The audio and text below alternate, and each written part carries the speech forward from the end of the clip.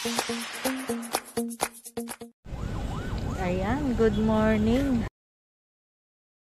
Welcome 2022, January.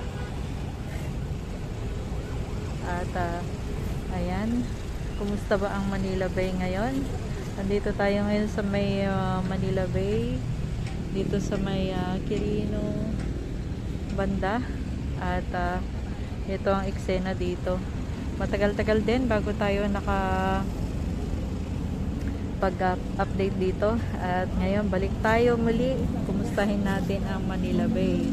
So ngayon ang bago dito nakikita natin itong ano ito may uh, HDA pipe na pala na nakalagay dito ngayon.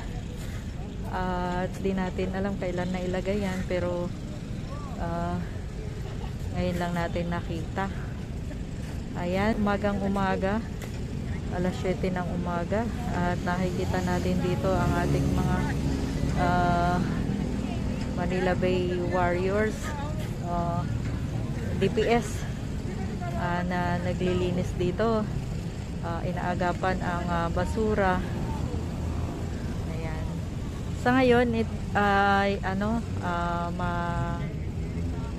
baba ang tubig o low tide kasi kita natin yung hangganan hanggang doon. So pagka high tide kasi ay abot gang dito sa may uh, uh, batuhan dito ba? Banda rito. So yung kita natin yung basa na buhangin. Yan. Nakalitaw. Yan ay uh, low tide pag ganyan. So ayan. Uh, dito naman sa kabilang side yung uh, uh, ano dawag dito yung punduhan ng mga yate. Yacht club ayan. Uh, yeah, kita natin itong mga basura na nakuha ng uh, mga DPS ayan. Uh, yan parang dumami yung nakapundo ngayon na yate dyan uh. at uh, yan may mga kasama tayo dito mga namamasyal. Kumunti na ngayon kanina marami rami uh, nagsialisan na na subukan natin umakyat dito.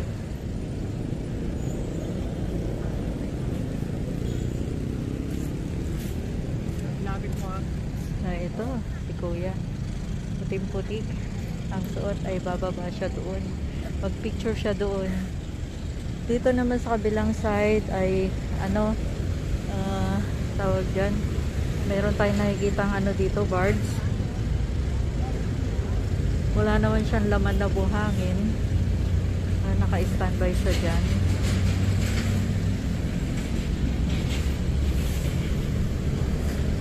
Yan. so may mga bata na nag, ano kayang hinahanap nitong mga bata na ito? Parang ano naghanap ng shell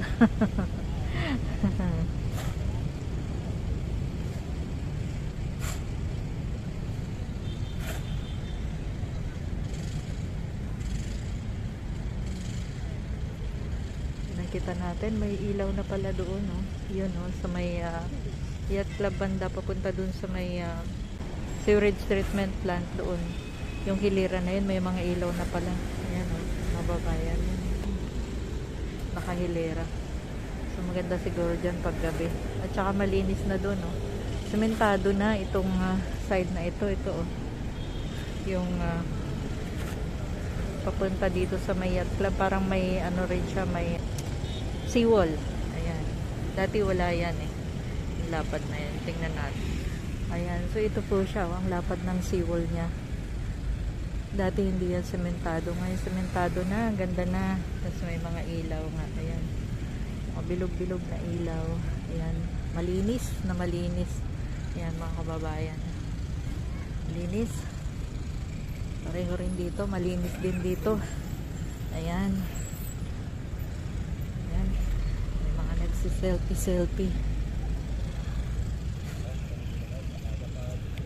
Linis no? Grayson. Grayson lang dito.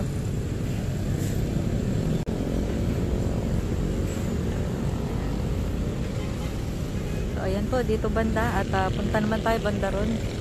Ah, tingnan natin kung ano naman ang kaganapan bandarol hanggang doon tayo sa may ah, Dolomite ayan may naggagawa rin dito. Yung ah, CR comfort room ayan. So ayan baba tayo lakad tayo bandaron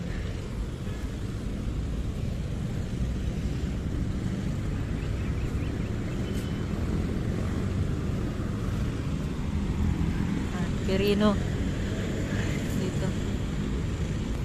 Yan nagagamit na itong mga ano dito yan lagay ng bike. Ayan. Gamit na gamit na siya. Mga railing. Ginawa para sa mga bike.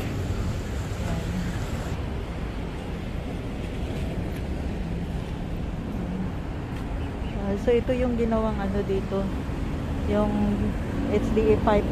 Open pala siya. Hindi pa siya na ano gagawa. Tayo bandaron ito na yung ano. Yan. Solar powered oh solar powered pala. Rooms and shower facilities in Baywalk. Ayan in the flood control ayan po. Solar power no? Galing no? Ay solar power pala yan. Hindi na kailangan ng kuryente. So ayan gawa na. Ito yung side niya ayan mukhang social social naman tong comfort room na to. Dito. Saan lang tayo.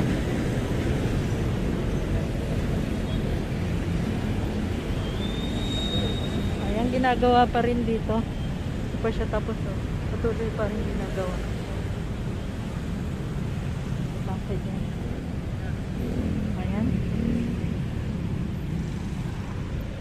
Lakad lang tayo dito Baywalk Manila Baywalk ayan. Hanggang dito na yung bakod mga kababayan hanggang dun. Talagang ano na yung bakod no? Puno na yung bakod ah talagang puno na. Ah totally na bakuran na ibig ko sabihin.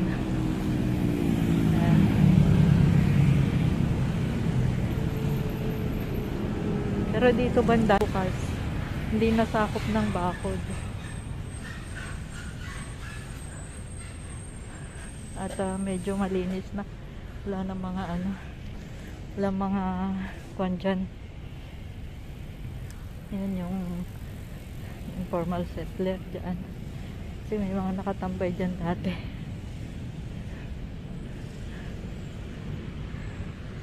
Lakad lang tayo.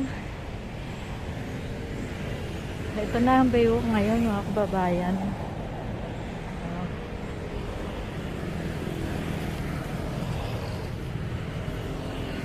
Ah. Kakunti ang tao. Weekdays kasi. Hindi lang natin alam pag weekend. Okay rin mga halaman. Ayan, malinis. At ah, buhay na buhay. Mga halaman dito. Nakakamiss lang, no? Dahil ah, lagi natin itong ina-update nun. Ayan, may mga puno na ng nyug. Puno ng nyug. Ayan. Ito. Yung mga tinanim. Puno ng nyug. Nabakuran din siya ng ano. Binakuran din siya ng